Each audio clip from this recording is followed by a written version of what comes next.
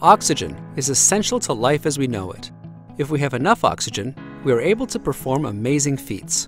However, if we do not have enough oxygen, our bodies fail to function properly. This is true for our cells as well. When oxygen is abundant, our cells utilize a sophisticated system called EIF4F to drive protein synthesis, which is vital to our health.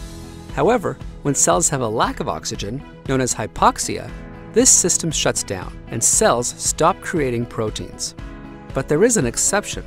Through past research, we have learned that cancer cells can survive and grow in hypoxic environments. So, how are cancer cells able to make proteins when there is a lack of oxygen? We recently discovered that cells activate a hypoxic alternative to EIF4F called EIF4FH that drives protein synthesis or translation when oxygen levels are low.